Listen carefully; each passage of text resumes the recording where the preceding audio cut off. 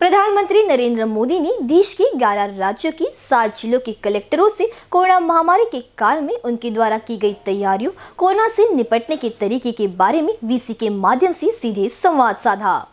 इसमें नागपुर कलेक्ट्रेट का भी समावेश था। जिलाधिकारी रविंद्र ठाकरे ने पिछले डेढ़ वर्षों से ज़िले में तैयार की गई सुविधाओं की जानकारी की रिपोर्ट पीएम कार्यालय को पेश की। इसमें मोबाइल एंटीजन जाँच 24 घंटे में जाँच की रिपोर्ट देने, होम क्वारंटाइन मुहिम, पिछड़े गाँव में अधिकारियों के दौरे, एंबुलेंस की व्यवस्था, मेडिकल मेयो में बेड बढ़ाने के विशेष प्रयास, ऑक्सीजन की उपलब्धता, बेड की उपलब्धता, नियंत्रण व समन्वय कक्ष, वैक्सीनेशन की गति आदि की जानकारी अपनी रिपोर्ट में दी। सुबह 11 बजे पीएम ने ऑनलाइन समीक्षा की। इस दौरान गृह मंत्री अमित शाह, रक्षा मंत्री राजनाथ सिंह सीएम उद्धव ठाकरे सहित मंत्रालयीन अधिकारी नागपुर से विभागीय आयुक्त संजीव कुमार, मनपा आयुक्त राधाकृष्ण बी सीईओ योगेश कुंभेस्कर स्वास्थ्य संचालक Sanjay Jaiswal, doctor Deepak Paturkar, doctor D S Silokar उपस्थित थे।